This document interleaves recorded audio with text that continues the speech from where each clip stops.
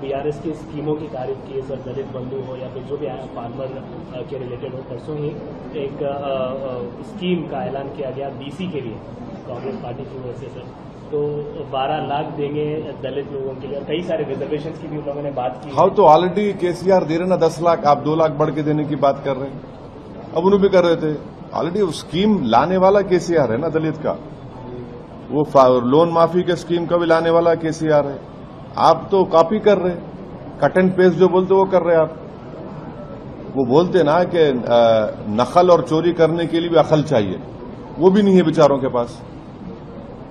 अब वो cut and paste जो आप कर रहे हैं, आप, उन्होंने ऑलरेडी कर दिया उन्होंने अंकल कर दिए।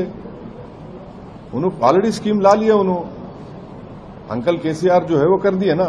अब आप उसका ही देखा देखी कर रहे। आप, है क्या आपको? तो इसका मतलब आप उनके पीछे चल रहे तो